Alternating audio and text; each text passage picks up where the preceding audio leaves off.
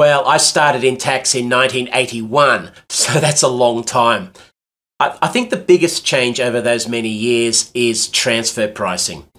Back in the 1980s, the, the major accounting firms, the big eight in those days, had no specialist transfer pricing resources in any country other than the US. There just wasn't a market.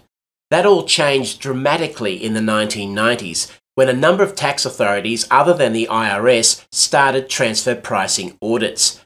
And the OECD released its transfer pricing guidelines in 1995. And today, there are thousands of transfer pricing specialists throughout the world. Another major change in the world of international tax was the release of the check the box regulations in the US in the mid 1990s.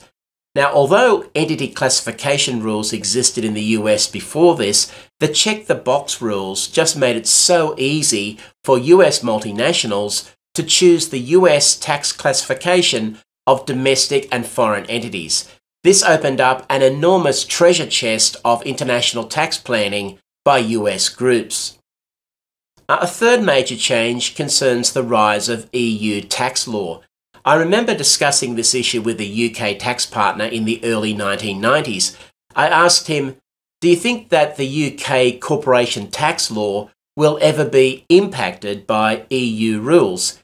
He said no, the UK will never accept that level of intrusion. Well, he was proved wrong.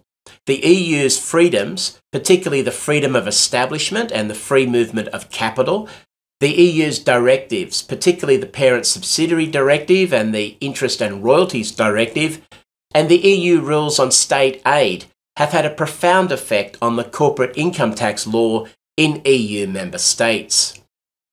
A fourth change concerns business models, which is not really a tax law change, but is arguably a response to tax law. We, we saw the emergence of supply chain planning, with the use of a principal company which has the major profit drivers located in an advantageous tax location and the remaining group companies acting in a support role for the principal. These structures became very popular initially in Europe but then in the rest of the world.